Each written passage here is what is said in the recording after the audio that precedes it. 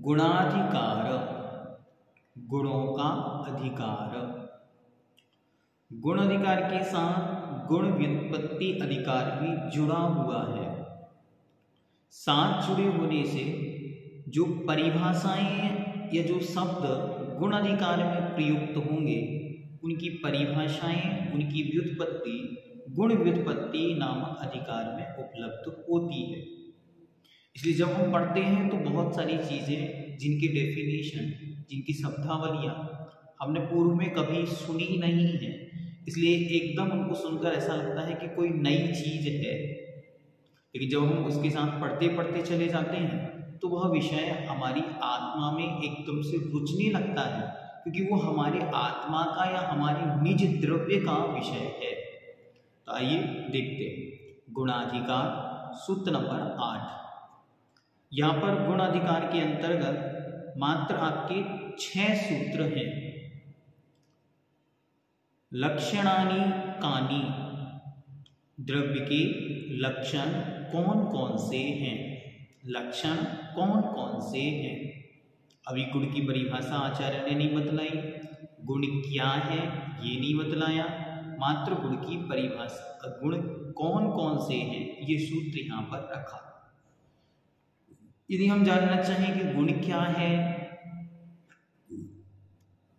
तो हमें गुण व्युत्पत्ति अधिकार में जाना इसीलिए जब इस किताब को डिज़ाइन किया गया तो बार बार पीछे आगे ना करके एक क्रम से चलने का, ऐसा मार्ग, एक रास्ता बनाने के लिए उन्होंने इस प्रकार से इस ग्रंथ को डिज़ाइन किया कि गुण अधिकार और गुण व्युत्पत्ति अधिकार दोनों को एक साथ रख दिया।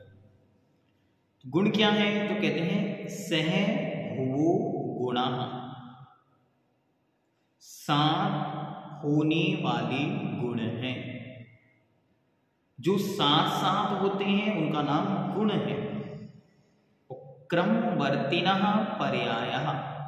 और जो क्रमशः होती हैं, उनका नाम पर्याय है। जो हमेशा शांत रहते हैं, कभी भी द्रव्य से पृथक नहीं होते, जुदा नहीं होते, अलग नहीं होते, उनका नाम गुण है। और उस द्रव्य की परिणमन पर्याय में जो प्रति समय चेंज हो रहा है, परिणमन हो रहा है, बदलाव हो रहा है, उसका नाम ही पर्याय है। तो सह भुवो गुण, क्रम वर्तिन पर्याय। अब जो सूत्र कहा? लक्षणानी, कानी। लक्षण कौन कौन से हैं? तो सामान्य से सबसे पहले हम जाने कि गुण कहते किसे हैं। तो जो द्रव्य के साथ साथ रहता है, वह तो गुण है। लेकिन जो द्रव्य में एक नई स्पेशलिटी लाता है तो उसके लिए सूत्र नंबर 92 93 में लिखते हैं, गुण्यते, पृथक द्रव्यम द्रव्यात यही ते गुण। यही ते गुण। गुण्यन्ते पृथक क्रियते द्रव्यम द्रव्यात। यही ते गुण। जिनके द्वारा यही जिनके द्वारा एक द्रव्य, द्रव्यात एक द्रव्य से दूसरे द्रव्य को पृथक क्रियते, पृथक किया जाता है, अलग किया जाता है डिफ्रेंशिएट किया जाता है, उसका नाम गुण है। और गुण की बहुत अच्छी परिभाषा आचार्य भगवंत कुमार स्वामी देव ने तत्व सूत्र के अंदर दी, द्रव्याश्रया निर्गुण गुण। यदि एक शब्द गुण लिखने को आ जाए तो आप इतना कुछ लिख सकते हैं। इसलिए मैं आपको इतना कुछ उसके विषय में मटेरियल देने का प्रयास कर रहा हूँ कि गुण क्या है? तो जो सह वो गुण, द्रव्य आश्रया गुण। द्रव्य के जो आश्रित है, निर्गुण, स्वयं में जिसके कोई गुण नहीं है, उसका नाम गुण है। वही गुण सहभुवा साथ साथ रहने वाला है। गुण्यते, पृथक क्रियते, द्रव्यम। द्रव्यात यही ते गुण। जो एक द्रव्य से दूसरे द्रव्य को पृथक कर देता है, अलग कर देता है, उसका नाम गुण है। दो द्रव्य हैं, मानो जीव है और पुद्गल है। दोनों में अंतर क्या है? चेतना नाम का गुण। इसमें चेतना है, इसमें चेतना नहीं है। स्पर्श रसगंध वर्ण ये पुद्गल को जीव से भिन्न कर रहे हैं। तो ज्ञान दर्शन जीव को पुद्गल से भिन्न कर रहे हैं। इसी का नाम है गुण्यते पृथक्रियते द्रव्यात, द्रव्य द्रव्यम द्रव्यात यह ते गुण। उनका नाम गुण है।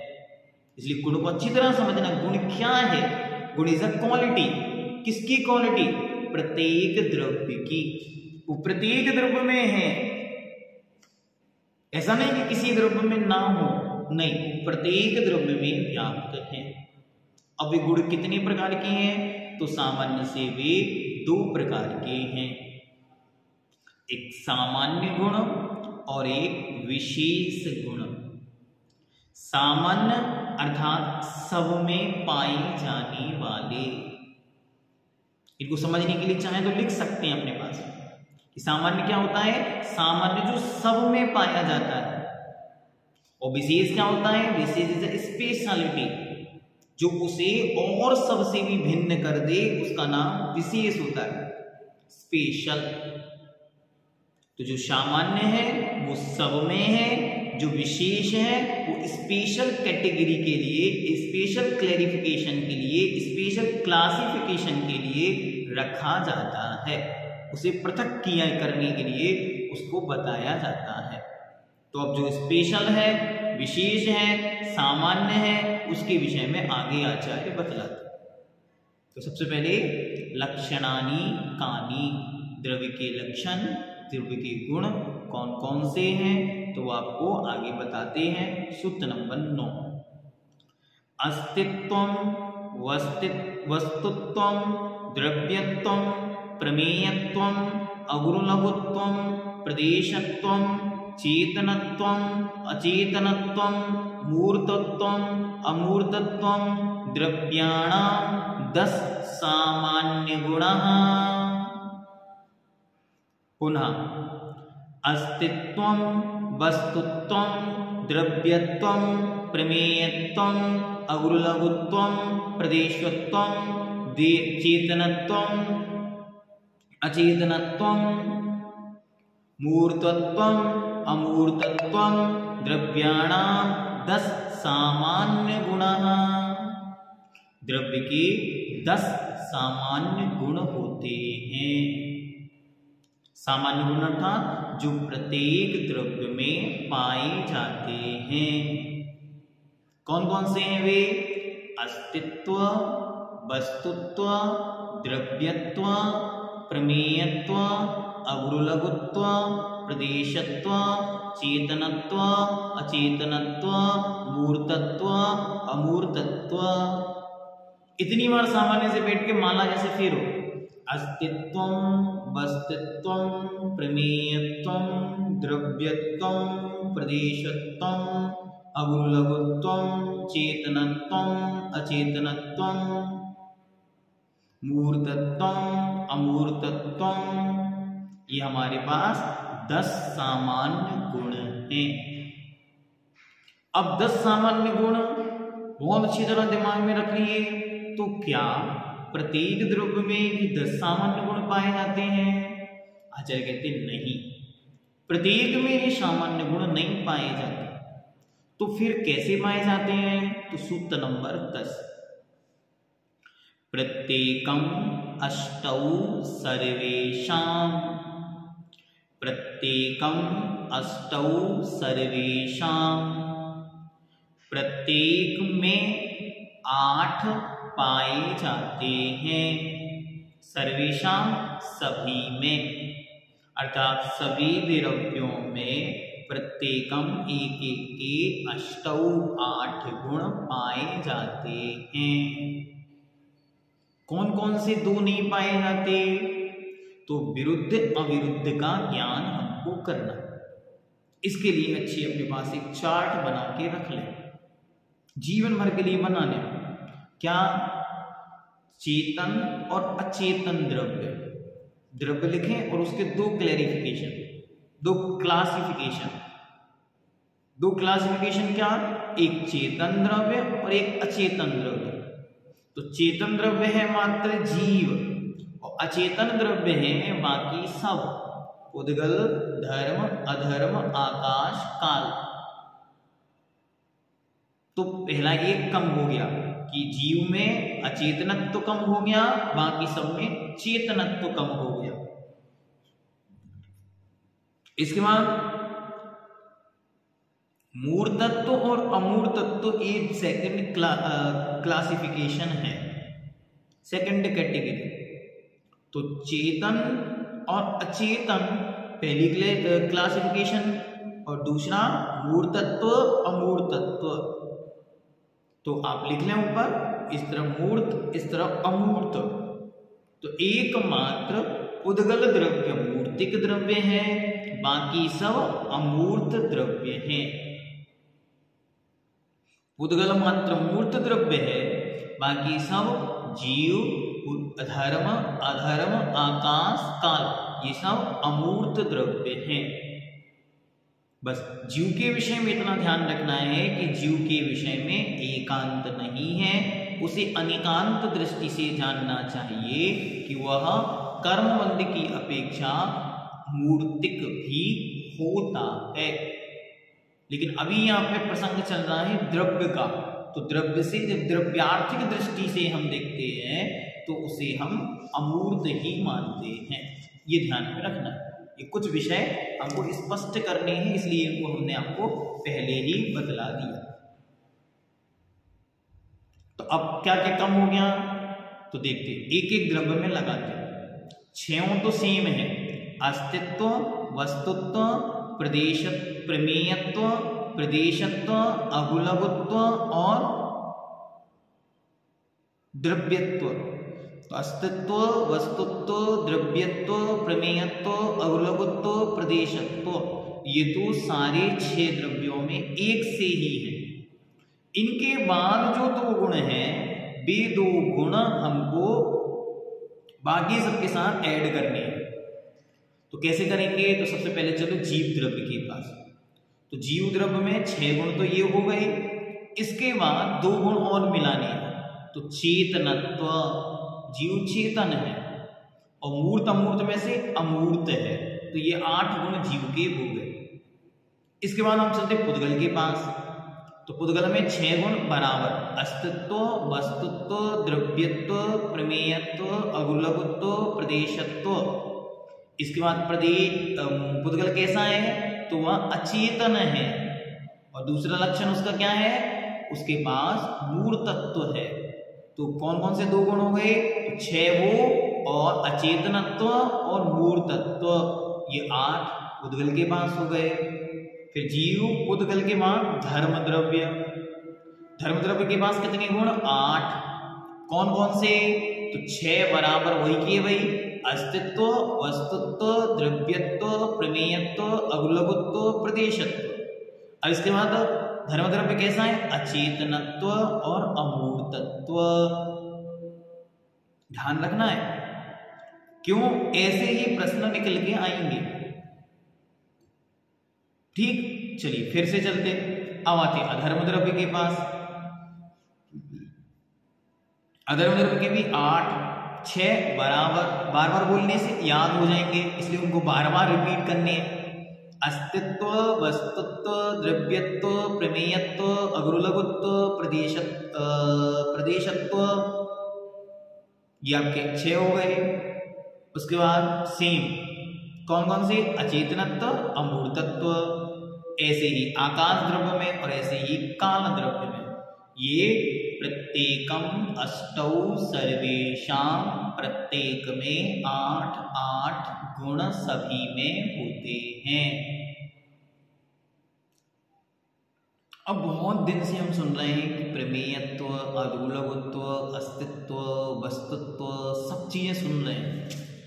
लेकिन ये है क्या वास्तविकता में? ये समझ से परे है। ये समझ में नहीं आ रहा है।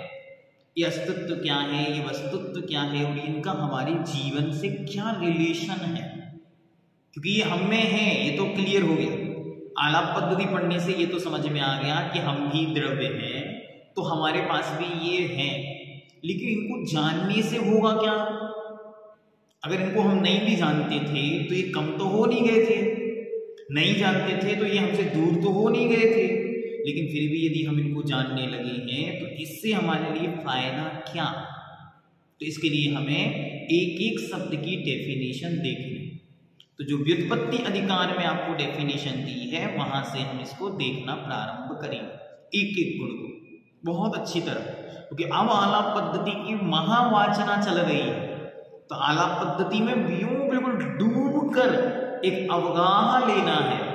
ईश्वत का सागर श्रुत का अमृत है और उसको एक बार उसमें डूबकर एक आनंद की अनुभूति, एक आनंद की लहर अपने अंतरत्व में उत्पन्न करनी है। तो देखते तो सबसे पहले 94 नंबर सूत्र में अस्तित्व शब्द का अर्थ दिया कि अस्तित्व क्या है। तो कहते हैं, अस्ति इति एतस, एतस्य भावो, अस्तित्व सदरूपत्व अस्ति इसके भाव को अर्थात सतपने को अस्तित्व को है प्रेजेंट एक्सिस्टेंस वो है इसको अस, उसके भाव को अस्तित्व कहते हैं। ये ध्यान रखना कि प्रत्येक शब्द में जो त्वा लगा है अस्तित्व अस्तित्व वस्तु प्लस त्वा, ये वस्तुत्व, ये त्वा जो है, ये भाव के अर्थ में लगा हुआ है। इसलिए सब जगह भाव, उसका भाव ही अस्तित्व है। तो अस्ति मतलब है प्रेजेंट एक्सिस्टेंस उस एक्सिस्टेंस के भाव का नाम, होने का नाम यहाँ पर अस्तित्व है। अस्तित्व क्या है? और डीपली देखें तो अस्थि है के भाव को अस्तित्व कहते हैं। जिस द्रव्य को जो स्वभाव प्राप्त है, उस स्वभाव का कभी भी अभाव नहीं होता। और किसी से उत्पन्न भी नहीं होता। नैवा सतो जन्म सतोना नासो। असत का कभी भी जन्म नहीं होता और सत का कभी भी नाश नहीं होता। जो है, वो कभी भी मरता नहीं है और जो है नहीं, वो कभी उत्पन्न नहीं होता। ऐसा नहीं है कि पहले कभी कोई पुद्गल था ही नहीं, फिर अपने आप इतने सारे पुद्गल उत्पन्न हो गए। जैसे हमने अपने घर बनवाया। तो हम ये सोचें कि पहले तो कुछ था ही नहीं। अचानक ये सब कुछ कैसे आ गया? नहीं। ईट पुदगल अपने अस्तित्व में था, उसका एक दूसरी वस्तुत्व रूप प्रक्रिया चल रही थी, अब वो किसी और रूप में आ गया। पहले वो मिट्टी रूप में था, फिर ईट रूप में आया, फिर दीवार रूप में आ गया, अब घर रूप में आ गया। तो ये उसकी पर्याय बदल गई हैं, लेकिन वो अस्तित्व में था।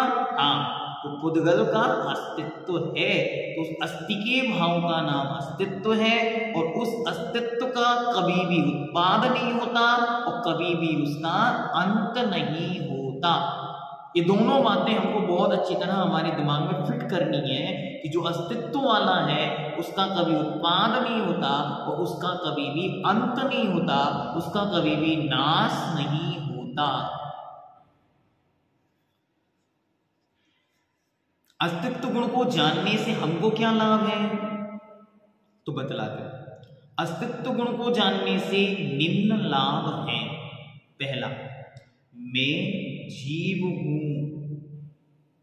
सबसे पहला लाभ, कि जब हम अस्तित्व की ओर देखेंगे तो हमको ये बोध हो कि मैं कौन हूँ? मैं जीव हूँ। सब द्रव्य अपने अपने अस्तित्व में ठहरे हुए हैं। उन सबके बीच में इस पुद्गल पिंड के अंदर विराजमान जीव द्रव्य हूँ। ये मेरा अस्तित्व है, ये मेरी पहचान है, ये मैं हूँ, यही मेरा अस्तित्व है। और सत होने के कारण अनादि अनंत हूँ। बहुत अच्छी तरह से।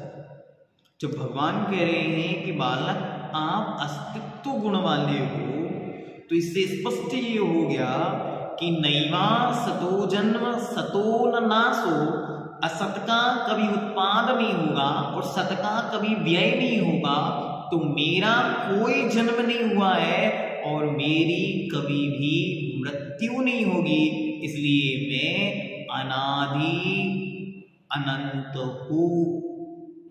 और मैं कैसा हूँ? मैं अजर हूँ। बुढ़ापा नहीं आएगा मेरा। ये बाहर पौधगलिक पर्याय ये ढलेगी।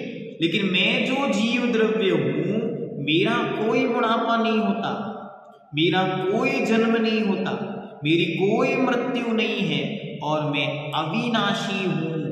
अर्थात मैं अजर मैं बुढ़ापा से रहे, मैं अमर, अर्थात मृत्यु से रहे, मैं अविनाशी हूँ, क्योंकि मेरा कभी भी विनाश नहीं होता।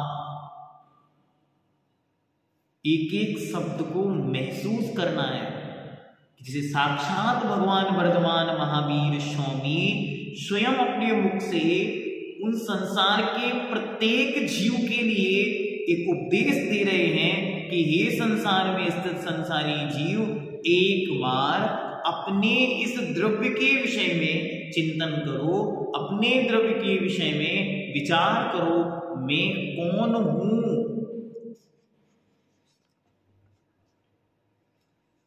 सर्वज्ञ भगवान आपको प्रश्न पूछ रहे हैं। या यूँ मानो कि सारा संसार सर्वज्ञ भगवान से प्रश्न पूछ रहा है कि, हे भगवान, मुझे ये बतलाइए, मैं कौन हूँ? तो भगवान कह रहे हैं, आप जीव द्रव्य हैं। तो भगवान कहते हैं कि जब मैं जीव, बालक कहता भगवान, जब मैं जीव द्रव्य हूँ तो मेरा क्या है? तो भगवान उसको बतलाते कि, ये सब प्रक्रिया मैं आपको समझा रहा हूँ कि आज जो कुछ चल रहा है, मैंने आपको पहले भी कहा ये जो विषय यहाँ पे चल रहा है, ये भगवान सर्वज्ञ वितराग अरिहंत देव की वैचारिक परंपरा है।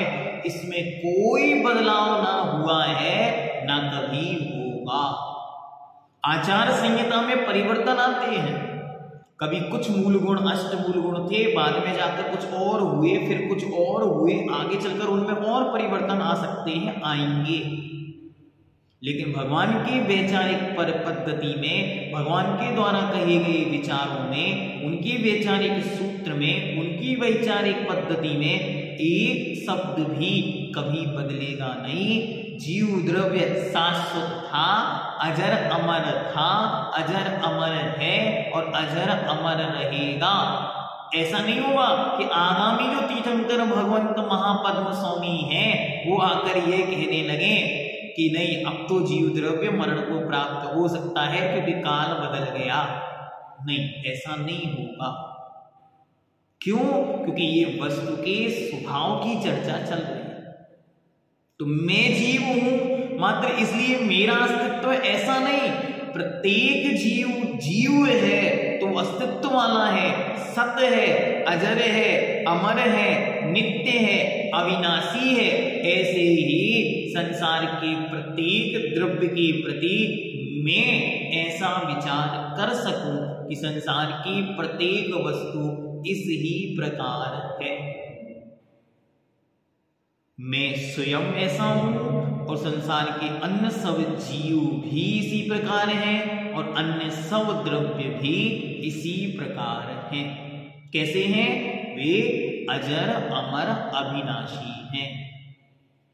सात प्रकार के भयों से रहत हूँ। जब मुझे बोध हो जाए कि मैं आत्मा हूँ और मेरा ना जन्म होता है, न मेरी मृत्यु होती है, न मेरा बुढ़ापा होता है, मैं अविनाशी हूँ तो बोलो डर किसका? भुजबादियों की पंक्तियाँ बहुत अच्छी तरह स्पष्टता है, याद आती हैं। नामी मृत्यु कुतो भीति। नामी व्याधि कुतो व्यथा। ना हम बालो, ना वृद्धो, ना युवा, एतानी उदगले। ना तो मैं बालक हूँ, न मैं वृद्ध हूँ, न मैं युवा हूँ ये तानी पुदगले ये तो सब पुदगल की पर्याय हैं। मैं तो आत्म राम जीव द्रव्य हूँ।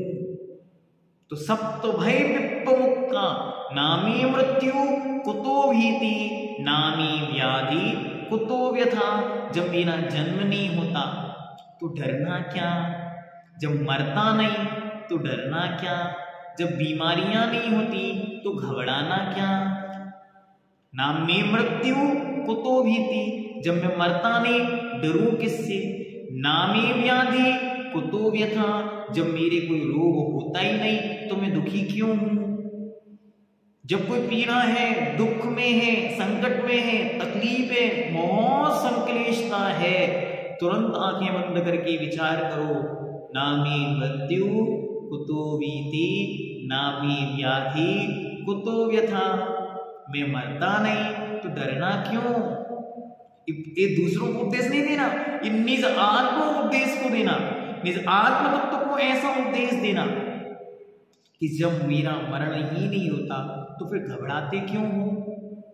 और जब मुझे कोई रोग ही नहीं होता तो दुखी किस चीज़ के लिए हो रहे हो?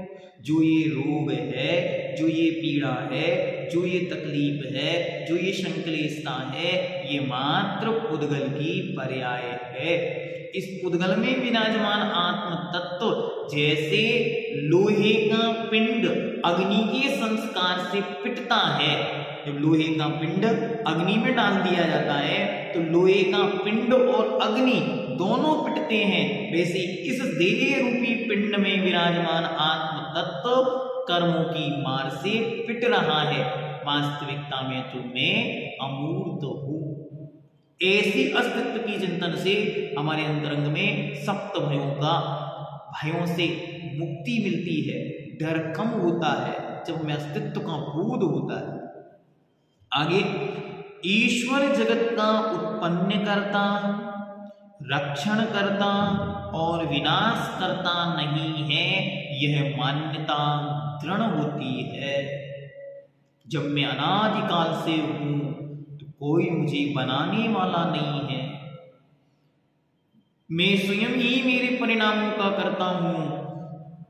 कोई मुझे पालने वाला नहीं है, रक्षा करने वाला नहीं है। और जब मैं अविनाशी हूँ तो कोई मुझे मारने वाला नहीं है। भगवान स्वतंत्र है और मैं स्वतंत्र हूँ। क्या परम आध्यात्म है ये? अभी तक आलाप पद्धति पढ़ तो रहे थे, लेकिन उस आलाप पद्धति की गहराइयों में नहीं उतर पा रहे थे। क्या आलाप पद्धति कहना क्या चाह रही है?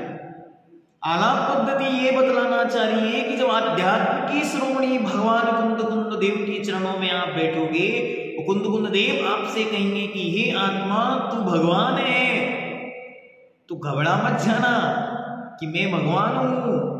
क्योंकि जब हम आलाप पद्धति के इन सूत्रों के बल पर अपना निर्णय कर लेंगे कि हम हैं क्या, तब भगवान कुंद कुंद के वचन कि तुम आत्मा, भगवान हो, अप्पा, सो परम अप्पा तो हमें आनंद के साथ उसे स्वीकार करने में कोई भय नहीं होगा। लेकिन जब हम नयों की व्यवस्था प्रमाणों की व्यवस्था, गुणों और पर्यायों की व्यवस्था, द्रव्यों की व्यवस्था अच्छी तरह जान पाएँगे, तब ये निर्णय संभव है। अन्यथा हम भी किसी और की तरह ठगे जा सकते हैं। इसलिए ठगे नहीं जाना है। सारा संसार ये मानता था मानता है और मानता रहेगा कि कोई ईश्वर है जिन्होंने हमें उत्पन्न किया है। कोई ईश्वर है जो हमको पालता है। कोई ईश्वर है जो हमारा विनाश कर सकता है। लेकिन वितराग सर्वग्रहंत भगवान पवित्र महास्वामी के इस पवित्र जिन शासन में उत्पन्न एक एक बालक जो इस अस्तित्व गुण को जानता है अपने मुख पर भगवती सरस्वती माँ जगत कल्याणी जिनवाणी को विराजमान करके कह रहा है कि नहीं, मैं अस्तित्व गुण वाला हूँ, न मुझे किसी ने उत्पन्न किया है, न कोई मुझे पालता है, न ही कोई मेरा विनाश कर सकता है, क्योंकि मैं अजर हूँ, अमर हूँ और मैं अविनाशी आत्म तत्व हूँ। ये है परम आध्यात्म, एक गुण से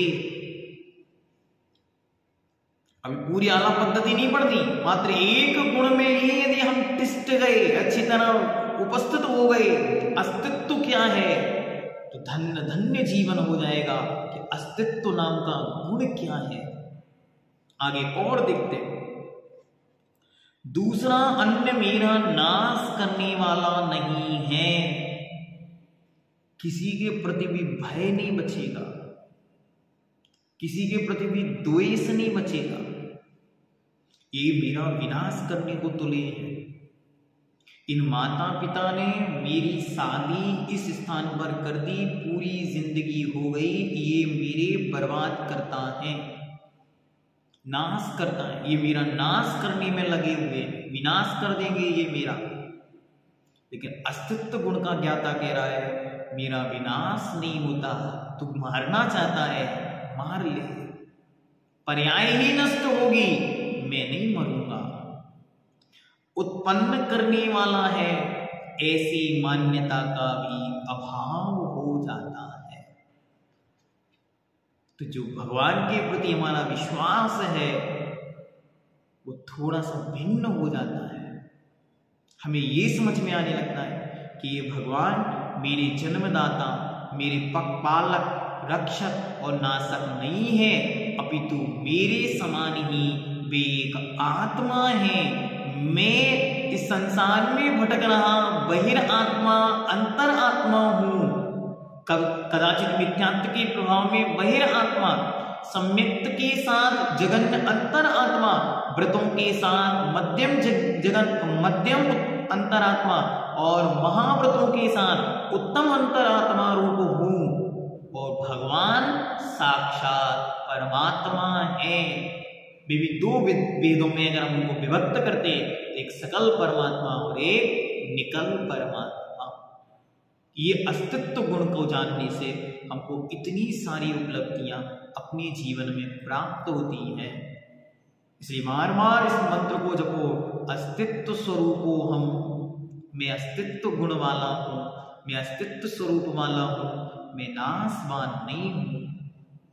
मैं अजर हूँ, मैं अमर हूँ, मैं अविनाशी हूँ। इसकी माला फेरो आपके सारे दुख, दर्द, संकट, तकलीफें कुछ भी आती रहे, उनसे कभी भी डर नहीं बैठेगा। डिप्रेशन नहीं आएगा जीवन कोई कुछ कर देगा, नहीं कर सकता, क्योंकि मैं अस्तित्व गुण वाला आपको इतनी गहराई में जाने की क्या ज़रूरत है? क्योंकि मैं जो वाला पद्धति ग्रंथ को पढ़ा रहा था पहली बार अजमेर में। तो मुझे लग रहा था कि इस ग्रंथ की इतनी महिमा है कि सकल सृष्टि पर जिस श्यानवाद को भगवान महंत ने प्रचारित किया, जिस श्यानवाद शैली को गणधर्मो आचार्य भगवंतों ने प्रचारित प्रसारित किया, उस महाशैली का, इस आलाप पद्धति का, जिस प्रवेश द्वार जिसे कह रहे हैं वो निकल कर क्यों नहीं आ रहा है? और आज जब हम पांचवी बार इस ग्रंथ को पढ़ रहे हैं तो एक एक शब्द बोल रहा है। अस्तित्व गुण कह रहा है, अभी आगे मत पढ़ो अभी तो हमें अस्तित्व ही समझ में नहीं आया है। ये डेढ़ सौ लोग जो आपके सामने विराजमान है, ये एक भी अस्तित्व गुण के यदि गुण में पग जाते हैं, जैसे चाशनी में कोई जलेबी पग जाए रसगुल्ला चाशनी में डूब जाए तो उसका पूर्ण आनंद है। ऐसे अस्तित्व नाम के एक गुण में यदि ये डूब जाए तो बाकी गुणों की आवश्यकता पड़ेगी ही नहीं। बाकी सब कुछ जानने की ज़रूरत नहीं पड़ेगी। इसलिए बार बार चिंतन का विषय बनाओ, कि अस्तित्व गुण क्या कह रहा है। और अब हमने इस आलाप पद्धति को एक ऐसी प्रक्रिया में आपके सामने प्रस्तुत करने का प्रयास किया है, कि अब आपको बार बार सुनने का मन करेगा। कि हमारे अस्तित्व गुण को सुनते हैं, आज हम वस्तुत्व गुण को सुनते हैं, आज हम प्रमेयत्व गुण को सुनते हैं कि ये गुण हमसे कहना क्या चाह रहे हैं। आपने अस्तित्व गुण को देखा, अब हम सेकंड गुण की ओर चलते हैं। दूसरा गुण क्या है? वस्तुत्व। वस्तुत्व गुण क्या है? तो सूत्र नंबर 95 वस्तुनो भावो वस्तुत्व सामान्य विशेषात्मकम वस्तु। वस्तुनो भावो वस्तुत्व। वस्तु का जो भाव है, वह वस्तुत्व है। प्रत्येक वस्तु का अपना एक भाव है। आप और हम मज़ाक में कहते हैं, इनके तो भाव बढ़ रहे हैं। तो प्रत्येक वस्तु का एक अपना भाव है। भाव का यहाँ पर मोल नहीं है। यहाँ पे डिमांड नहीं है। यहाँ पे कोई रुपया, कोई पैसा आदि नहीं। लेकिन हर एक वस्तु की एक अर्थ क्रिया कारित्व है। हर एक वस्तु का अपना एक प्रयोजन है। वो कैसा है? सामान्य विशेष आत्मकम, वह सामान्य और विशेष आत्मक है। वस्तु दो प्रकार की एक सामान्य और एक विशेष। यह एक ही वस्तु में दो वस्तुत्व है। एक सामान्य आत्मक है और एक विशेष आत्मक है। तो वस्तुत्व क्या है? तो वस्तु का अपना जो भाव है, वह वस्तुत्व गुण कहलाता है। अथवा जिस शक्ति के निमित्त से वस्तु में कोई ना कोई अर्थ क्रिया होती है उसे वस्तुत्व गुण कहते हैं। अर्थ क्रिया उसकी प्रयोजन भूत कार्य करने की योग्यता। जैसे घड़े की अर्थ क्रिया जल धारण करना। जल की अर्थ क्रिया क्या है? पानी का भरना। जल को धारण करना यही उस घड़े रूप वस्तु की वस्तुत्वता है। प्रत्येक द्रव्य की कुछ ना कुछ योग्यता है, कुछ ना कुछ वस्तुता है, वस्तुत्व है, उसे हम पहचान लें यदि तो धन्य धन्य जीवन हो जाए। क्या मिलेगा इसको जानने से? प्रत्येक द्रव्य अपनी अपनी प्रयोजनभूत क्रिया करता है, इसीलिए कोई भी द्रव्य निरर्थक नहीं है। मैंने पहले कहा एक एक वाक्य को यू समझना। जैसे साक्षात शासन नायक अंतिम तीर्थेश भगवान वर्धमान महावीर स्वामी की दिव्य ध्वनि चल रही। ओ, वे ही अपने मुख से बोल रहे हैं। हम तो मात्र तो उनको ट्रांसलेट उनको आप तक भेजने वाले एक मैसेंजर हैं। क्योंकि भगवान साक्षात सिद्ध में जाकर विराजमान हो गए हैं। अब कौन बोले? भगवती सरस्वती विराजमान है, लेकिन वो बोल नहीं रही है। तो बोलेगा कौन? बोलेगा, सामने उपस्थित जो व्यक्ति है। तो मैं आपके सामने मात्र तो बोल रहा हूँ, लेकिन वचन किसके हैं? वचन सर्वज्ञ वितरान अरिहंत महाप्रभु के हैं इसका निर्णय कर ले अच्छी तरह। तो आगे चलते प्रत्येक द्रव्य अपनी अपनी प्रयोजनभूत क्रिया करता है इसलिए कोई भी द्रव्य निरर्थक नहीं है। इसका निर्णय बनाना है कि कोई भी चीज़ निरर्थक नहीं होती। सबका कोई ना कोई अर्थ होता है, सबका कोई ना कोई प्रयोजन होता है, सबकी उपस्थिति का कोई ना कोई कारण होता है। हम और आप कुछ समझ नहीं पा रहे हैं, इसलिए लग रहा है कि इसको निकालकर दूर कर दो। इसे उठाकर वहाँ फेंक दो, इसे बदल दो, उसे ऐसा बना दो, इसको ऐसा कर दो। लेकिन प्रत्येक द्रव्य कह रहा है, मैं अपने वस्तुत्व में ऐसे ही अवस्थित हूँ। जैसे एक बहुत सुंदर आपने सुना होगा, एक बार एक जंगल में होड़ लगी कुछ करने की। क्या? एक जंगल में एक बार होड़ लगी। कुछ करने की क्यों? कंपटीशन का जमाना है। I have to do something हाँ भाई, चलो, कुछ करते हैं। क्या करना है? तो चलो, पहले रेस लड़ी जाए। ठीक है? रेस लड़ा देते। तो सारी मछलियाँ बोली, हम भी रेस में दौड़ेंगे। हाँ तुम भी आओ, क्योंकि कंपटीशन का जमाना है। तो सारी मछलियाँ पानी से बाहर कूदने लगी।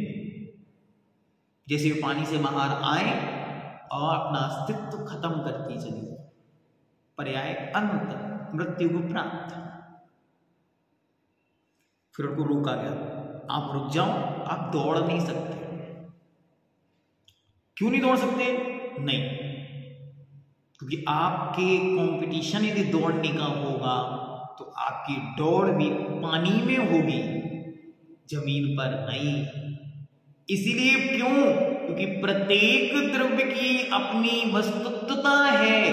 तो वह वस्तुता उस वस्तुत्व को समझकर कि मेरी योग्यता, मेरा परिणमन और मेरी क्षमता क्या है, इसको यदि वो समझ जाए तो जो व्यर्थ का कंपटीशन चल रहा है, वो कंपटीशन से वो बच जाए।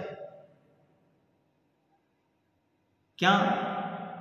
बंदर तैरना चाह रहा है। पक्षी तैरना चाह रहा है। मछलियाँ उड़ना चाह रही हैं। कोयल नाचना चाह रही है। मोर गाना चाह रहे हैं। तो इनका नाम है वस्तुत्व को नहीं समझ पाना। ये कहलाता है कंपटीशन वर्ल्ड जिसमें निज योग्यता का, निज अर्थ क्रिया का, निज प्रयोजन का, निज आत्म तत्व का धर्म क्या है? मेरी क्रिया क्या है? मेरी क्षमता क्या है? मेरी योग्यता क्या है? मैं क्या कर सकता हूँ? मैं क्या बन सकता हूँ? मुझे क्या बनना है? ये कुछ भी उसे समझ में नहीं आ रहा है। बस एक दौड़ चल रही है। उस दौड़ में दौड़ता चला जा रहा है। मुझे वो प्राप्त करना है जो उसने प्राप्त किया। इसलिए विनाश को प्राप्त हो रहा है। यद्यपि द्रव्य नाश को प्राप्त नहीं होता है लेकिन उस पर्याय में से खेद खिन्नता, संक्लेशता उत्पन्न हो जाती है कि वो जीवन उदासी पूर्ण हो जाता है। तो क्या करें? प्रत्येक द्रव्य अपनी अपनी प्रयोजनभूत क्रिया करता है, इसलिए कोई भी द्रव्य निरर्थक नहीं है। सबके प्रति एक सम्मान लाओ।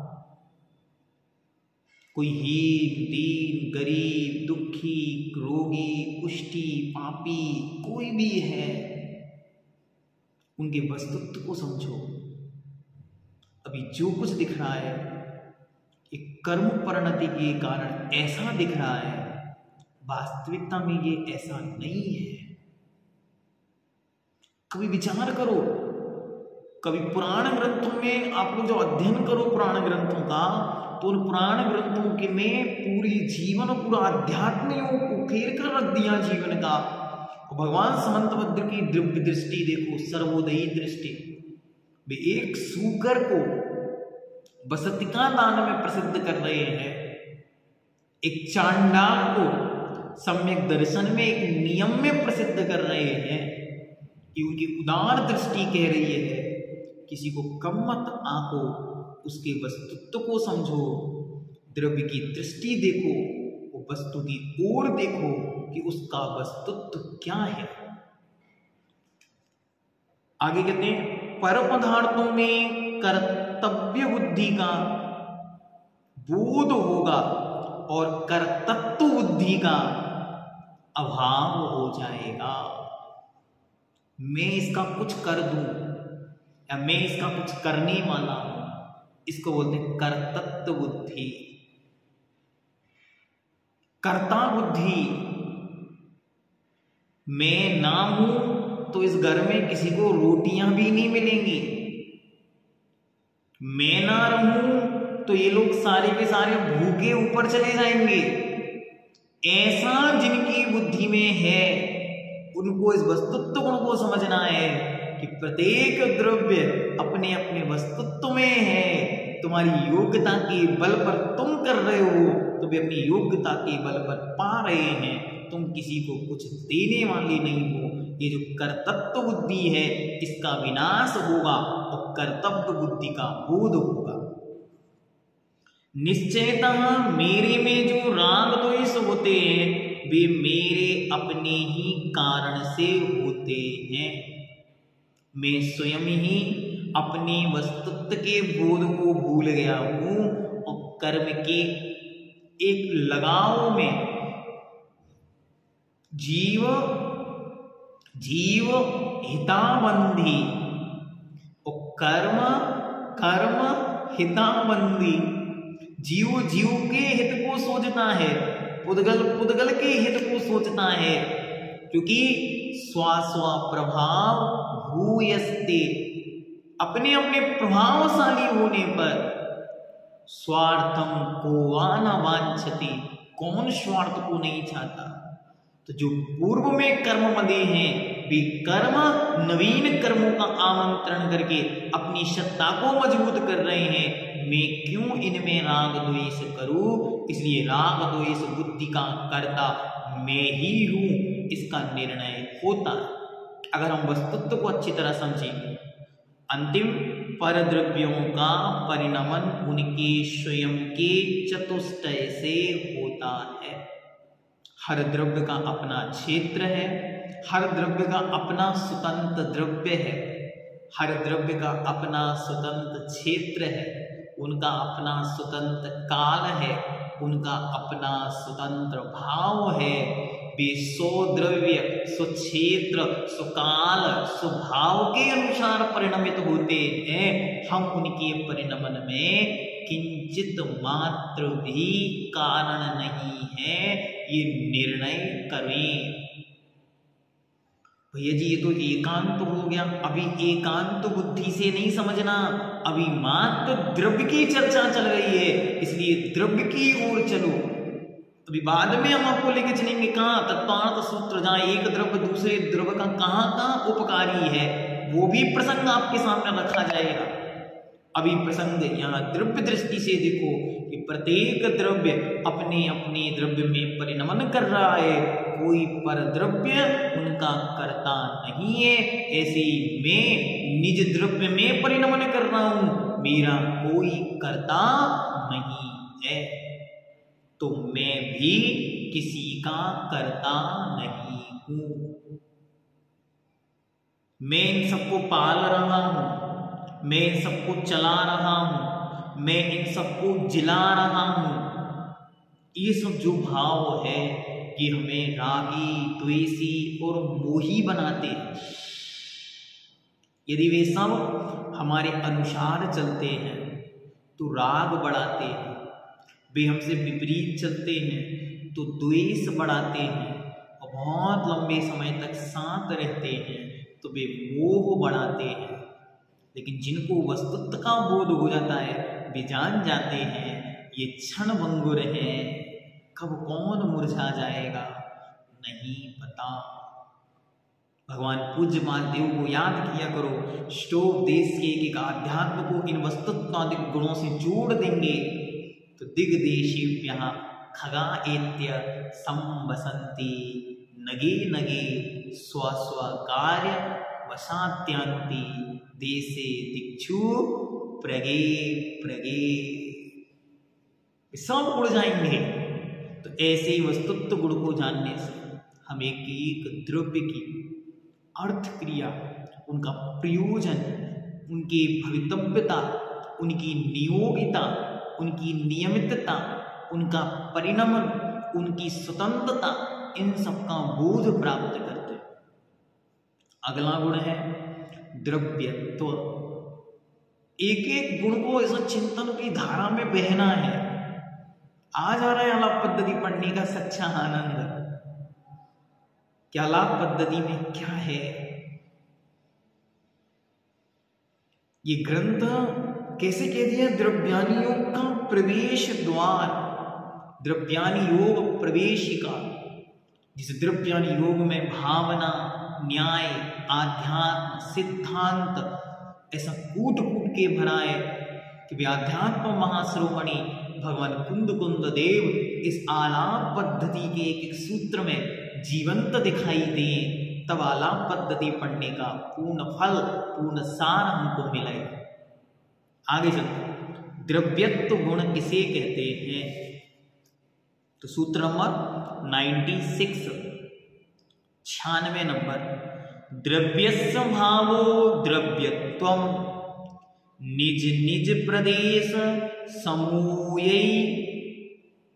अखंड वृत्तिया, स्वभाव विभाव पर्यायान, द्रवती द्रोष्यति अध्रुवत इति द्रव्यम, जो अपने अपने प्रदेश समूह के द्वारा अखंडपने से अपने शुभाव विभाव पर्यायों को प्राप्त होता है, होवेगा और हो चुका है।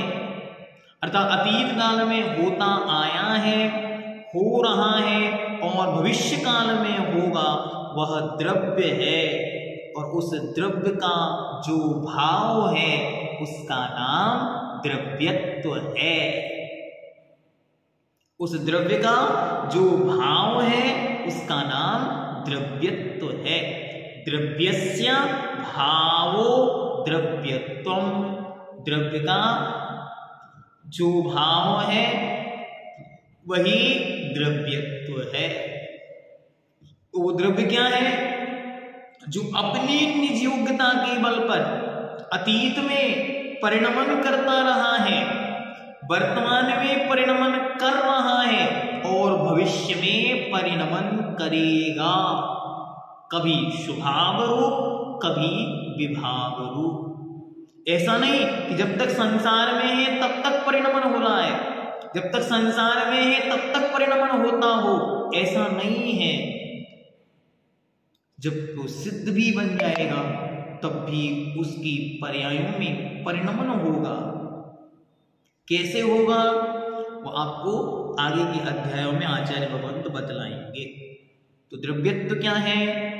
जिस शक्ति के निमित्त से द्रव्य अपने स्वभाव व विभाव रूप पर्यायों को प्राप्त होता है होवेगा और हो चुका है, वह द्रव्यत्व गुण कहलाता है। अथवा जिस शक्ति के कारण द्रव्यता कायम रहकर पर्याय निरंतर बदलती रहती है, द्रव्यता कायम है और पर्याय बदलती चली जा रही है। अनादिकाल से मैं संसार में हूँ, फिर भी अजीब नहीं बना। मेरी द्रव्यता कायम है। मैं अनादिकाल से पुदगल पिंड स्पर्श रस गंध वर्ण के साथ हूँ। लेकिन फिर भी मैं स्पर्श रस गंध वर्ण रूप नहीं बना। क्या अद्भुत है, विचार करो। अगर द्रव्यत्व नाम का गुण ना होता तो कहीं हम अजीब हो जाते। भगवान कुंद कुंद देवी प्रश्न पूछते समय सार जी चलो, आप बार बार कहते हो ये पुदगल मेरे हैं, ये पुदगल मेरे हैं, ये मिश्र पुदगल मेरे हैं, ये चेतन पुदगल मेरे हैं, या चेतन पुदगल मेरे हैं। मैं आपसे पूछता हूँ, क्या पुदगल कभी कहता है कि आप मेरे हो? क्या पूछते कुंद कुंद देव? कि आप तो कह रहे हो, जीव तो बराबर कहता है, ये पुदगल मेरे हैं, ये पुदगल मेरे हैं, ये पुदगल मेरे हैं। लेकिन कभी किसी पुदगल ने आज तक कहा कि ये जीव मेरा है। अगर ऐसा हो गया कि एक क्षण के लिए भी जीव पुदगल हो गया तो आचार्य कुंद कुंद देव कहते हैं, सारे पुदगलों को मोक्ष हो जाएगा। लेकिन पुद्गलों को मोक्ष नहीं होता, क्योंकि जीव कभी भी पुद्गल नहीं होता। ये उसकी द्रव्यत्वता है। कि स्वभाव विभाव रूप परिणमन में भी बार बार पर्याय बदलती हैं, लेकिन कभी भी द्रव्य विभाव को प्राप्त होता है स्वभाव को प्राप्त होता हुआ भी अपनी द्रव्यता, अपना द्रव्यत्व नहीं छोड़ता, वो सदा जैसा था, वैसा है और बना रहता है। इसको जानने से हमको क्या लाभ? निश्चयतः जीव के पर्याय, शरीर के कारण, कर्म के कारण, ईश्वर के कारण, अन्य जीवों के कारण पुद्गलों के कारण नहीं पलट रही, अपितु द्रव्यत्व गुण के कारण बदल रही है। निर्णय पहला, कि मात्र बाहरी वस्तुएँ मुझे नहीं बदला रही हैं। अपितु मेरे अंतरंग में एक निज द्रव्य की द्रव्यत्व शक्ति नामक योग्यता बैठी है, उसके कारण मुझमें परिणमन, परिवर्तन हो रहा है। जो कुछ हो रहा है, कर्माधीन है। जो कुछ है, ब्रह्माधीन है। भगवान कर रहे हैं। जो कुछ है, सब कुछ पराधीन है। नहीं, इस बुद्धि से दूर हटकर विचार करना है कि सब कुछ मैं ही करने वाला हूँ। जो परिणमन हो रहा है, उस परिणमन का कारण मात्र पुद्गल नहीं है। जो परिणमन हो रहा है, उसका कारण मात्र शरीर नहीं है। उसका कारण कोई ईश्वर नहीं है। उसका कारण कोई पड़ोसी अन्य नहीं है। उसका कारण मैं स्वयं हूँ। क्योंकि मेरे अंदर एक द्रव्यत्व नाम की शक्ति विद्यमान है, जो मेरे परिणमन में कारण है। उसके कारण जैसा निमित्त मुझे मिलता है, मैं उस रूप में परिणमित तो हो जाता हूँ। जैसे वही पानी की बूंद मुखमटी में आचार्य भगवंत लिखते हैं कि वही पानी की बूंद जब समुद्र पर गिरती है तो खारी हो जाती है। वही पानी की बूंद गन्ने के खेत में गिरती है तो मीठी हो जाती है। वही पानी की बूंद धूल में गिरती है, कीचड़ हो जाती है, कमल के पत्र पर गिरती है, मोती हो जाती है, शीप में, स्वाति के नक्षत्र में गिरती है तो मोती हो जाती है कपूर केले के वृक्ष पर गिरती है तो कपूर हो जाती है किसान के खेत में गिरती है, अनाज हो जाती है, बूंद बूंद है, सो परिणमन है उसमें ये द्रव्यत्व शक्ति के अनुसार बदलने का। निमित्तों की उपस्थिति में वो तदरूप हो जाती है। इसलिए द्रव्य में द्रव्यत्व शक्ति से परिणमन की योग्यता है, जैसा निमित्त मिलता है, वो तदरूप परिणमित हो जाती है, हो जाता है। एकांत से पर के कर्तापन की मिथ्या मान्यता भी समाप्त हो जाती है। जैसे जैसे एक एक गुण को घोलकर पीते जाएँगे, वैसे वैसे सारे मिथ्यात्व समाप्त होते चलते पर्यायों के नाश अर्थात उत्पाद से मैं सुखी, दुखी होकर आकुलित होता था, सब आकुलता समाप्त हो जाती है। द्रव्यत्व गुण कह रहा है, सब द्रव्य है, परिणमन होगा। जातस ही ध्रुवो मृत्यु, जन्म लेने वाले का मरण नियत है, द्रव्य तो सदा से था, सदा रहेगा। इसलिए जन्म लेने वाली की जो मृत्यु हो रही है, ये परिणमन है, इसे स्वीकार करो। इसलिए किसी भी चीज़ में आकुलता मत करो सब कुछ समय से स्वतः होगा, बस कब होगा, एक नियत नहीं है। कोई कहेगा नियतवाद कर्मवाद और क्रमवाद क्रमवर्ती, क्रमबद्ध, और एक शब्द और आता है काल लब्धि इन सबके भरोसे मत बैठो, द्रव्य की ओर दृष्टि करो।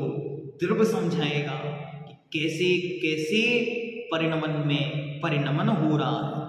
द्रव्यों में परिणमन हो रहा है। उन पर्यायों में और उन परिणमनों में अच्छी तरह यदि बुद्धि को हम मांझेंगे, समझेंगे तो एक एक विषय हमारी आकुलता को समाप्त करेंगे। जीवन, मरण, संयोग, वियोग जन्य आकुलताएँ भी समाप्त होती चली जाएँगी। जैसे जैसे हम अच्छी तरह अपनी आत्मबुद्धि को विकसित करेंगे। वैसे वैसे हमें ये चीज़ अनुभूति में आएगी कि हम किस तरीके से इस संसार में रह रहे हैं। वास्तविकता में हम बहुत कुछ और हैं जो दिखाई पड़ रहा है। मात्र वह पुद्गल पिंड ही हम नहीं हैं। अपितु इस पुद्गल पिंड के अलावा या इस पुद्गल पिंड से भिन्न मैं एक जीव द्रव्य हूँ, मैं आत्म तत्व हूँ। ये बोध, ये बुद्धि बहुत काम की चीज़ है। इस प्रकार हमने ये तीन गुणों को बहुत अच्छी तरह समझा। इसी क्रम में अब हम देखते हैं अगला गुण, जिसका नाम है प्रमेयत्व। प्रमेयत्व क्या है? तो आचार्य यहाँ पर सूत्र नंबर 98 अंठानवे नंबर सूत्र। प्रमेयस्व भाव प्रमेयत्व, प्रमाणेन सुपर रूपम परिच्छेद्यम प्रमेयम। प्रमाण के द्वारा जाना, जानने के योग्य जो स्व और पर स्वरूप है वह प्रमेय है। उस प्रमेय के भाव को प्रमेयत्व कहते हैं। इससे क्या तात्पर्य है?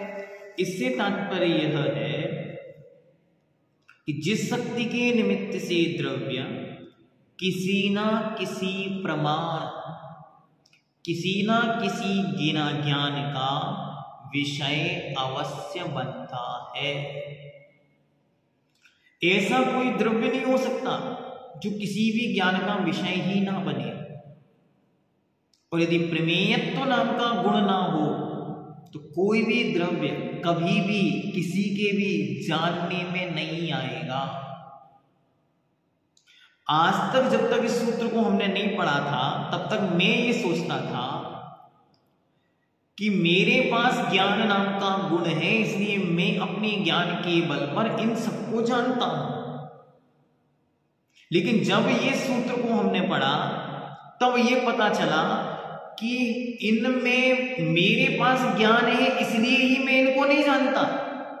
अपितु तो इन प्रत्येक द्रव्य में प्रमेयत्व नाम का एक गुण है जो स्वयं को जनाता है, इसलिए मैं उसे जान पाता हूँ।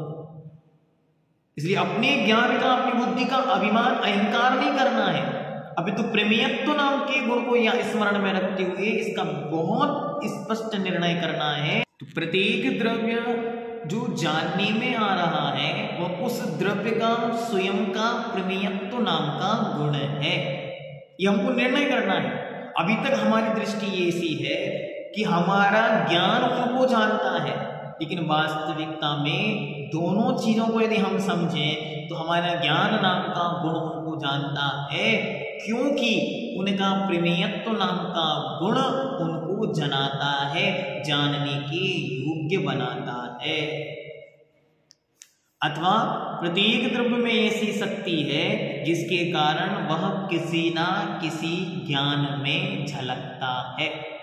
ज्ञान में जानने में आता है। प्रमेयत्व गुण को जानने से क्या लाभ है? क्या मतलब है इसको जानने से? हमको क्या प्रयोजन है? तो आचार्य कहते हैं, इसके द्वारा सर्वज्ञता की सिद्धि होती है। सुमेरु पर्वत है कि नहीं? हमने तो देखा नहीं। नंदीश्वर द्वीप है कि नहीं? हमने देखा नहीं। भगवान महावीर हुए थे कि नहीं? हमने देखे नहीं। परमाणु होता है कि नहीं? नहीं, हमने तो देखा नहीं। हमको दिखता नहीं।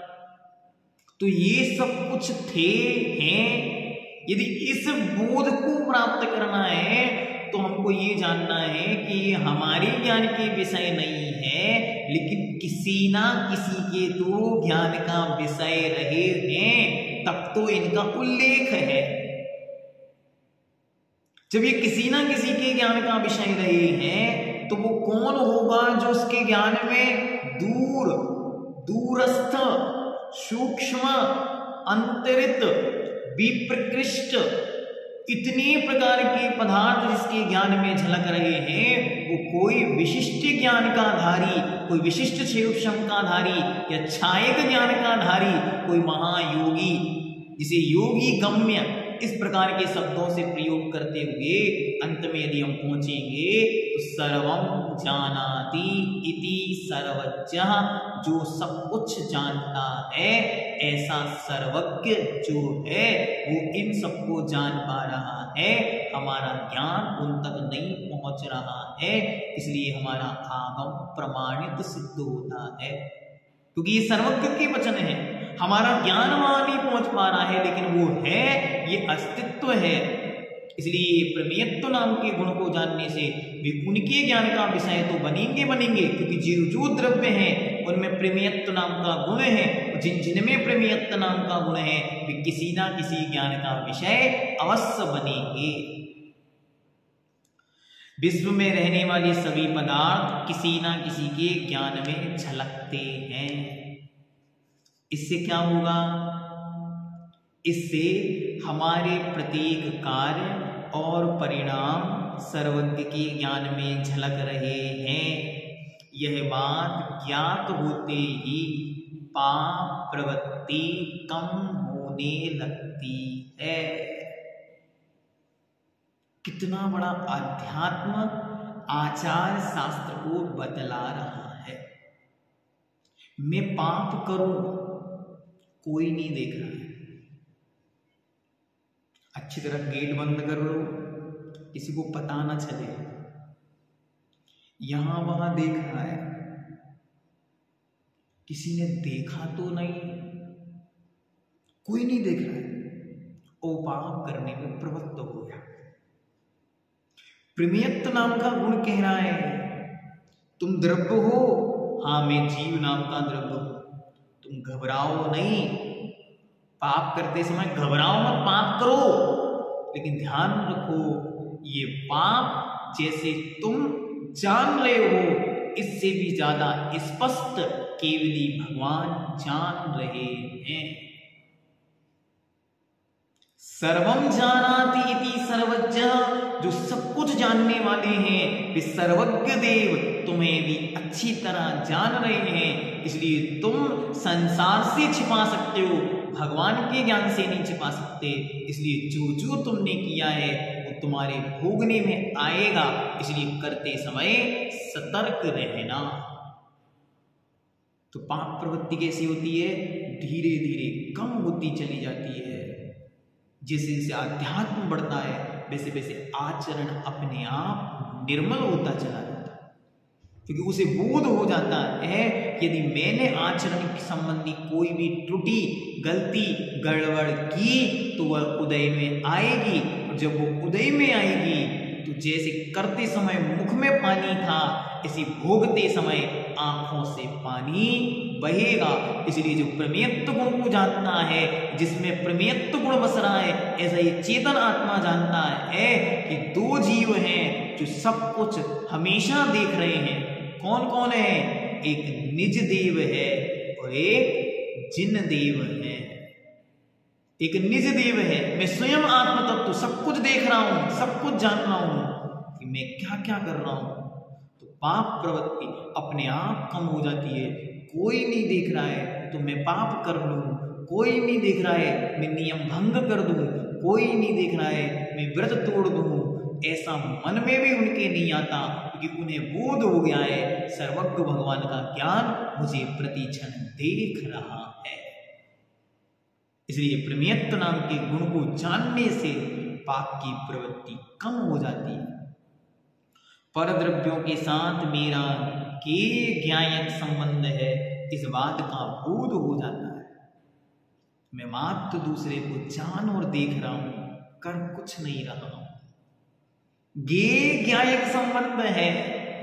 वे मेरे जानने में आ रहे हैं और मैं उनको जानने वाला हूँ। इससे ज़्यादा और मेरा उनका कोई संबंध नहीं है। क्यों? मैं उनका कर्ता नहीं बन सकता? नहीं बन सकता। द्रव्य दृष्टि कह रही है तुम उनके कर्ता हो ही नहीं। तुम उनके भोक्ता नहीं, भोक्ता भी नहीं हो सकते। इसलिए बहुत अच्छी तरह मैं माँ जानने देखने वाला हूँ, इससे ज़्यादा कुछ नहीं कर सकता। इससे क्या होगा? इससे टेंशन कम होगा। माँ, शादी है, सारी व्यवस्थाएँ मुझे ही करनी है। ऐसा नहीं कि व्यवस्था नहीं करनी है प्रमाद में डूब जाए। नहीं, प्रमाद में नहीं डूबना है। आलस्य नहीं करना है, पुरुषार्थ तो करना है, लेकिन ध्यान रखना है कि मैं मात्र के ज्ञान संबंधी हूँ, कुछ करने वाला नहीं हूँ जानने वाला हूँ। इसलिए जानो, देखो और जाने दो। जानो, देखो और जाने दो। तुम तो कुछ नहीं कर सकते।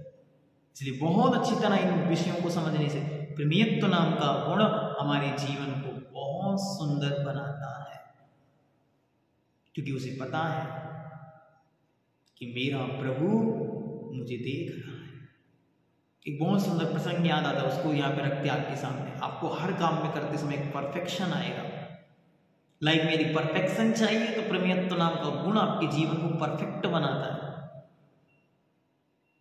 कि एक बार एक व्यक्ति रोज सड़क से गुजरता था और वो देखता था कि बाकी जो सफ़ाई कर्मी आते हैं वो सफ़ाई करते हैं आधा कचरा छोड़ते हैं छोड़ के यहाँ वहाँ चले जाते हैं। लेकिन एक ये सफ़ाई वाला है ये एक एक कचड़े को जब तक व्यवस्थित स्थान पर ना कर दे तब तक नहीं जाता। सारी धूल हटाना सारे पत, जो पन्नी के टुकड़े हैं अगर छोटा सा भी कोई वहाँ पर कचरा बाकी है तो उसे भी वो अपने हाथों से उठाकर डस्टबिन में डाल के आता, पूरा चकाचक करके ही वो जाता। ऐसा क्यों करता है? बाकी सब इसके साथ में जो आते हैं, वो आसपास जहाँ उनका एरिया होता है, वो उस जगह झाड़ू आदि करते हैं, काम अपना करते हैं, उसके बाद करके चले जाते हैं। लेकिन एक ये व्यक्ति ऐसा है, जो अपने काम में इतना परफेक्शन कैसे रखता है? हाउ ही मेंटेन इट तो उसका रहा नहीं गया। क्योंकि वो तो द्वादश वर्षीय पाठ्यक्रम का छात्र था। तो एक स्वाध्यायी की दृष्टि से उसके अंदर जानने की इच्छा तो होगी होगी। और उसका ज्ञान उसको कह रहा है सामने, उसका प्रमेयत्व नाम की शक्ति उसे जना रही है। तो उसका ज्ञान जानने को मचल रहा है। तो उसका प्रमाण उसे जानने के लिए मचल रहा है तो उसके पास जाकर उससे कहता है कि भैया, आप इतनी अच्छे से सफ़ाई कर रहे हैं, मुझे ये तो बताइए कि सफ़ाई का आपका प्रयोजन क्या है? तो कितने अच्छे से कहते हैं। बहुत ध्यान से समझना, शब्दों को समझकर, उसके भावों को समझना, उस भावों से इस गुण को समझना। तो कहता है, मैं अपना काम पूरी ईमानदारी से इसलिए करता हूँ क्योंकि मुझे विश्वास है। क्या? मेरा विश्वास कहता है कि तुम इतनी सुंदर से इस स्थान को साफ़ करना कि यदि कोई दिव्य शक्ति को इस धरती पर अवतार लेना हो, कोई दिव्य शक्ति यदि यहाँ प्रवेश पाने वाली हो, कोई दिव्य शक्ति, कोई देवता उतरने वाला हो तो वो उतरने के लिए संसार में मेरे द्वारा झाड़ी गई भूमि को ही स्वीकार करे। इससे क्या सीखना है? इसे ये सीखना है, हम अपने काम को इतनी परफेक्शन के साथ करें केवली भगवान के ज्ञान में जब हम झलकें केवली भगवान का ज्ञान भी धन्य धन्य महसूस करे कि ऐसा जीव आज भी इस पंचम काल में, इस भरत क्षेत्र में विद्यमान है। क्या इतना परफेक्शन हमारे हर काम में हो, जिसे हम कहते हैं बेईमानी से बचकर ईमानदारी का पथ हो, न्याय पथ पर गमन हो, क्योंकि मेरा प्रभु मुझे देख रहा है। जिसे आप लोग लिखते ना कृपया मुस्कराइए। आप सीसीटीवी कैमरे की नज़र में हैं। सतर्क रहिए। कैमरा आपको देख रहा है। सब कुछ रिकॉर्ड हो रहा है। ऐसे ही अपने घर में दीवार पर लिख लो। कोई देख रहा है। कौन है वो? केवली भगवान सब देख रहे अब मन कहेगा, इस पाप प्रवृत्ति में नहीं डूबना है। इससे बचना है। यहाँ से निकलकर इस मार्ग पर चलना है, क्योंकि ये पाप है और इस पाप का फल नरक निगूद है। आगे चलते हैं। अगुरु लघुत्व नाम का गुण। अगुरु लघुत्व सूत्र नंबर निन्यानवे। अगुरु लघु भावो अगुरु लघु अगुरुलघु अगुरुलघु भावो अगुरुलघुत्वम। सूक्ष्म अवागोचर प्रतिक्षण वर्तमान आगम प्रमाण अभ्युगम्य अगुरुलघु गुण जो सूक्ष्म है अवाग गोचर वचनों के अगोचर है, अर्थात वचनों से कहने में नहीं आती है। प्रति समय परिणमनशील है, अर्थात प्रति समय जो बदल रही है।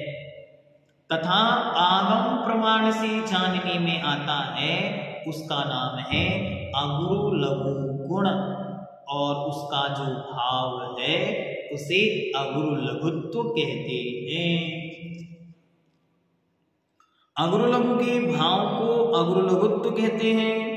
इस गुण के कारण एक द्रव्य दूसरे द्रव्य रूप, एक गुण दूसरे गुण रूप परिणमन नहीं करता। कभी भी एक द्रव्य दूसरे द्रव्य रूप नहीं होता और दूसरा एक गुण दूसरे गुण रूप परिणमन नहीं करता, ना ही एक द्रव्य के गुण बिखर कर पृथक होते। फैलते नहीं है। अपितु बे द्रव्य गुण बे पर्याय अपनी अपनी मर्यादाओं में रहकर ही परिणमन को प्राप्त होते हैं। अग्रलघुत्व गुण के जानने से हमको क्या मिलेगा? वस्तु स्वभाव का एवं वस्तु स्वतंत्र की सिद्धि होती है। एक एक वस्तु स्वतंत्र है। प्रत्येक द्रव्य स्वतंत्र है। उनकी स्वतंत्रता की सिद्धि होती है। कोई भी द्रव्य किसी भी द्रव्य में मिला नहीं है। कोई भी द्रव्य कभी भी किसी अन्य रूप नहीं होगा। एक द्रव्य दूसरे द्रव्य का कर्ता एकांत से नहीं है। इस जैन सिद्धांत की सिद्धि इसी अग्र लघुत्व नाम के गुण से होती है। बहुत ध्यान से समझना, एकांत शब्द ध्यान में रखना है कि एकांत से एक द्रव्य दूसरे द्रव्य का कर्ता नहीं है। एक द्रव्य दूसरे द्रव्य का कुछ भी करने वाला नहीं है। प्रत्येक द्रव्य अपने अपने में स्वाधीन है। निजाधीन है, निजमय है। अनंत द्रव्यों की सत्ता एवं संख्या कायम रहती है। एक गुण हमने आपको पहले बताया था अवस्थित।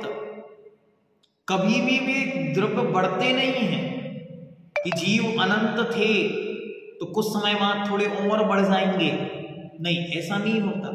वे अनंत थे तो अनंत हैं तो अनंत ही रहेंगे। उनकी संख्या में कोई बदलाव नहीं होता। जीव द्रव्य और शरीर रूप पुद्गल द्रव्य एक मेक होने पर भी दोनों स्वतंत्र स्वतंत्र हैं। इस बात का बोध होता है, उदगल उदगल है, जीव जीव है। इसलिए मैं इस शरीर में रहता हुआ भी कभी उदगल रूप परिणमित नहीं हुआ। ये अगुरु लघुत्व नाम का गुण है। और इन छह प्रमुख गुणों के अंदर एक गुण है प्रदेशत्व। प्रदेशत्व क्या है? तो सूत्र नंबर सौ। प्रदेशस्य भावः प्रदेशत्वं क्षेत्रत्वम् अविभागी पुदगल परमाणुना, पुद्गल पुद्गल परमाणुना बस टौथम पुद्ग प्रदेशस्य भावः प्रदेशत्वं प्रदेशत्वं क्षेत्रत्वं अविभागी पुद्गल परमाणुना बस्तम प्रदेश का भाव प्रदेशत्व है अथवा क्षेत्रत्व है। एक अभिभागी पुद्गल परमाणु के द्वारा व्याप्त क्षेत्र को प्रदेश कहते हैं। एक अभिभागी पुद्गल परमाणु जितने स्थान को कवर करता है, उसका नाम प्रदेश है। एक अभिभागी पुद्गल परमाणु जितने स्थान को कवर करता है, उसका नाम एक प्रदेश है और उस प्रदेश प्रदेश के भाव का नाम प्रदेशत्व है। क्या करता है वह? जिस शक्ति के निमित्त से द्रव्य अपने कोई ना कोई क्षेत्र को प्राप्त होता है, उसका नाम प्रदेशत्व गुण है। अविभागी विभाग रहित पुद्गल परमाणु के द्वारा व्याप्त क्षेत्र को प्रदेश कहते हैं। और उस प्रदेश का जो भाव है, उसका नाम प्रदेशत्व है। इसको जानने से क्या होगा? प्रत्येक द्रव्य का आकार अपने प्रदेशत्व गुण से होता है। कोई भी ईश्वर या पर द्रव्य उस आकार का करता नहीं है। कई बार आपके लिए हमारे मन में भी विकल्प उत्पन्न हो जाता कि जीव के विषय में तो समझ में आ रहा है कि जीव का कर्म है। ध्यान से। जीव के विषय में तो समझ में आ रहा है कि जीव स्वयं कर्मों को कर रहा है, उस कर्म के फलस्वरूप सारी चीज़ें अपने आप बनती चली जा रही है। इट्स अ परिणमन परिणमन हो रहा है इट्स चेंज लेकिन उद्गल में ये सब कैसे हो रहा है? बहुत ध्यान से समझना। जीव में तो चेतना शक्ति है और अजीव का जो कर्म का नियोग है, उसके निमित्त से हो रहा है। लेकिन पुद्गल में ऐसा क्या है? उसमें भी सब कुछ हो रहा है। वे भी आकार है आकारवान है, आकार टूट रहे हैं, भेद हो रहा है संघात हो रहा है, परिणमन हो रहा है, क्षेत्रत्व है, प्रदेशत्व है अगु लघु सब कुछ कैसे संभव है? तब इन गुणों को पढ़ने से समझ में आता है कि इन गुणों में जो शक्तियाँ विद्यमान हैं, वे प्रत्येक द्रव्य की अपनी निजी शक्तियाँ हैं। जिनके बल पर यह सब कुछ संभव है।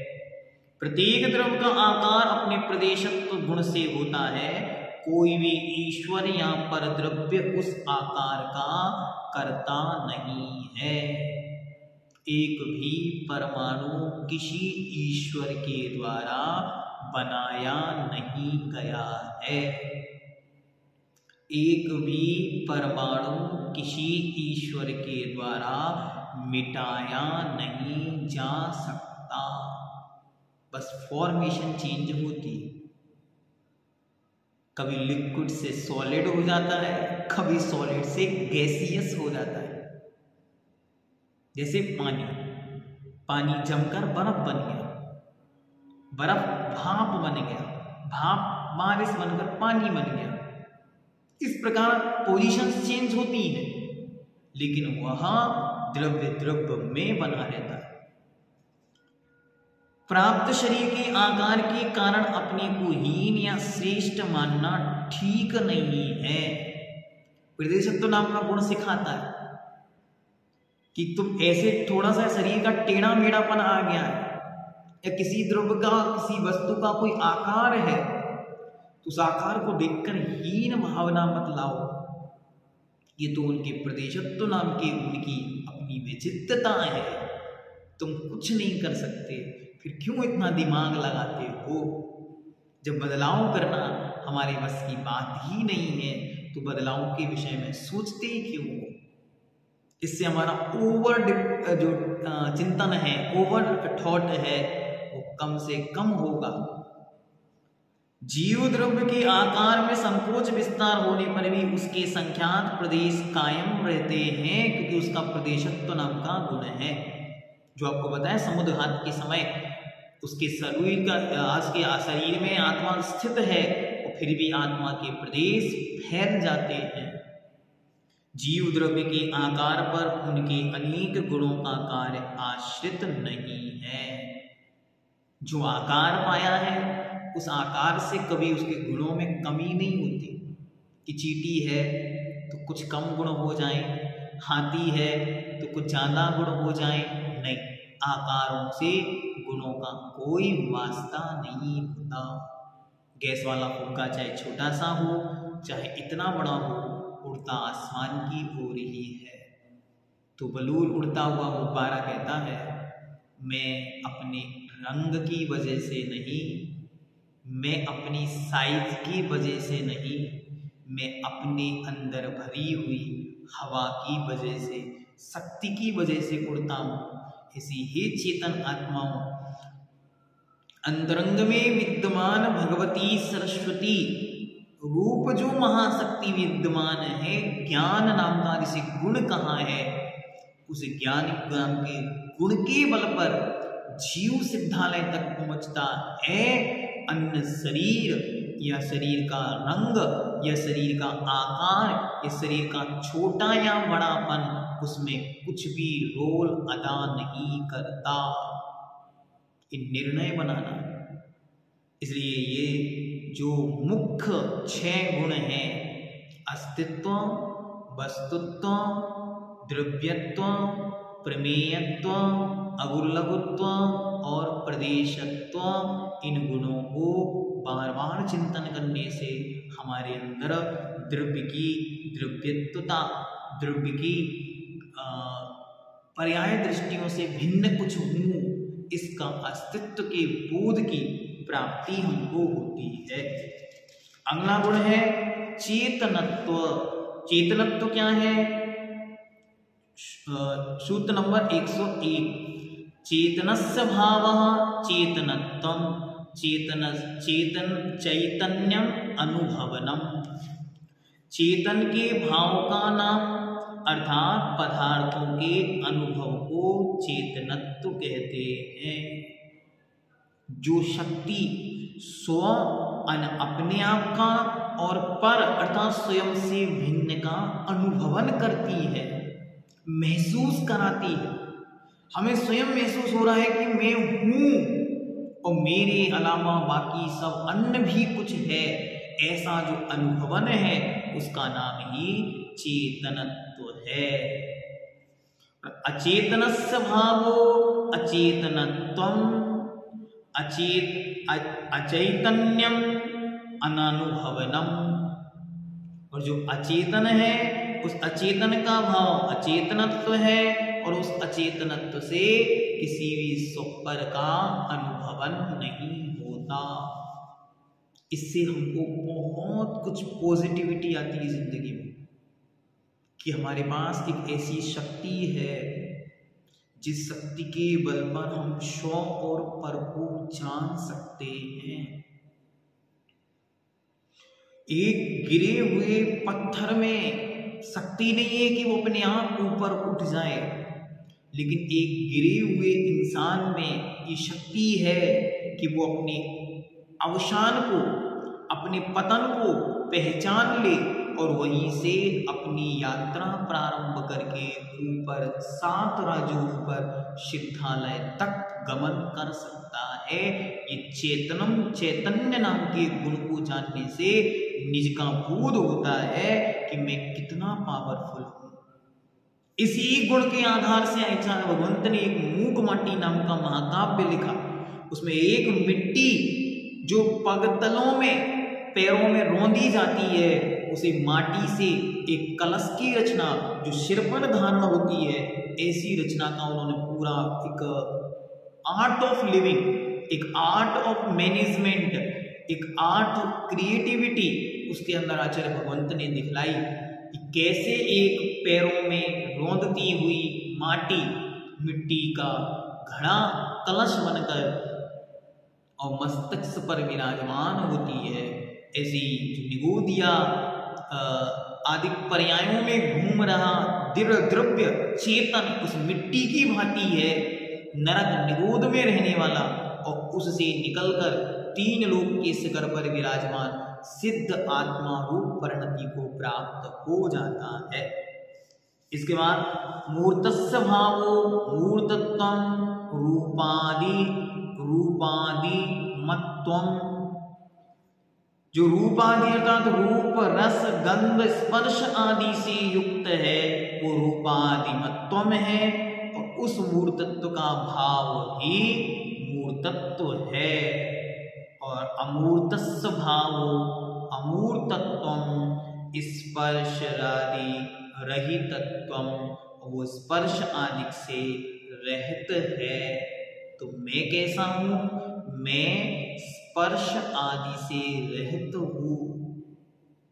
मैं स्पर्श, रस, गंध, वर्ण, इन सबसे भिन्न आत्म तत्व हूँ। मैं अमूर तत्व हूँ। बार बार इसका चिंतन करें। इस पर मैंने बहुत सारी वीडियोस आपके सामने रखे हैं, आत्मा के स्वभाव को लेकर। और डिस्क्रिप्शन बॉक्स में भी दे दूँगा, और जिन्हें आवश्यकता लगे वो व्हाट्सएप पर पर्सनली मैसेज करके भी ले लें। कि आत्मा मैं कौन हूँ? इसका बोध कैसे हो? भगवान कुंद कुंद देव ने इसकी पूरी चर्चा कुछ ग्रंथराज समयसार के अंदर की है। कि आपने अमूल तत्व पर एक बार भी श्रद्धा नहीं है कभी भी सिद्धत्व की उपलब्धि नहीं होगी। कैसे सिद्ध बनोगे? क्योंकि शरीर में अनादिकाल से है। अनादि संबंध अनादिकाल से जिसका संबंध है, उसमें रहते हुए भी मैं उससे भिन्न हूँ। इसका नाम ही अमूल तत्व है। कि मैं जिस शरीर में विद्यमान हूँ, मैं उस शरीर से भी भिन्न एक आत्म तत्व हूँ। एक ध्रुव चैतन्य तत्व हूँ। ये अद्भुत है। ऐसी कुछ प्रासंगिकताएँ इस ग्रंथ को पढ़ते पढ़ते आएँगी। आज हमने सामान्य गुणों की चर्चा की। आगे हम विशेष गुणों की चर्चा विस्तार से करेंगे। आज जो हमने पढ़ा तो सबसे पहले लक्षणानी, कानी। लक्षण कौन कौन है? तो लक्षण क्या है? गुण है। तो सहभो गुण जो साथ साथ होते हैं, वो गुण है। द्रव्याश्रया, द्रव्य के जो आश्रित रहते हैं, निर्गुण, जिनकी कुछ और गुण नहीं होते, उनका नाम गुण है। गुण्यंते पृथक क्रियते, द्रव्यम द्रव्यात, जो द्रव्य को द्रव्य से भिन्न करते हैं उसका नाम गुण है। वे गुण कितने होते हैं? दो प्रकार के होते हैं। सामान्य और विशेष। जो सब में पाए जाते हैं, वो सामान्य होते हैं और जो विशेष क्लासिफाइड करते हैं, वो विशेष कहलाते हैं। स्पेशल जिसे कहते हैं। तो जो सामान्य है, वो दस प्रकार के कौन कौन से हैं? अस्तित्व, वस्तुत्व द्रव्यत्व, प्रमेयत्व अग्रुलघुत्व प्रदेशत्व, चेतनत्व, अचेतनत्व, मूर्तत्व, अमूर्तत्व द्रव्याणाम दस सामान्य गुणा क्या ये दसों प्रत्येक द्रव्य में पाए जाते हैं? नहीं। प्रत्येकम अस्तौ सर्वेशा सभी द्रव्यों में ये आठ आठ पाए जाते हैं। कैसे पाए जाते हैं आठों? वो आपको बतलाया जा चुका है कि जीव अकेला चेतन है, बाकी सब अचेतन है। पुद्गल अकेला मूर्तिक है, बाकी सब अमूर्तिक है। और जो आपको विस्तार से अध्याय के अंदर अस्तित्व आदि गुणों की जो चर्चा की गई, वो इसलिए की गई क्योंकि तो इस ग्रंथ में जो एक एक शब्द लिखा है, वो महानतम जिन शासन के रहस्यों का उद्घाटन है। इसलिए प्रवेश ही नहीं पाएँगे तो प्राप्त कैसे करेंगे? कुछ लोग कहते हैं, उनके यहाँ स्वाध्याय होता है, हमारे यहाँ क्यों नहीं होता? इसलिए भाव था कि एक बार इन सब विषयों पर भी बहुत गहनता से चर्चा हो। आज वो हुई है। जिनको जैसा लगा हो, मुझे नहीं पता, लेकिन आज मुझे बहुत आनंद आया। आलाप पद्धति के ऐसा स्वाध्याय यदि जीवन में एक बार भी हो जाए तो भगवान के वचनों पर एक महान श्रद्धा विकसित होगा, ये मेरा दृढ़ विश्वास है।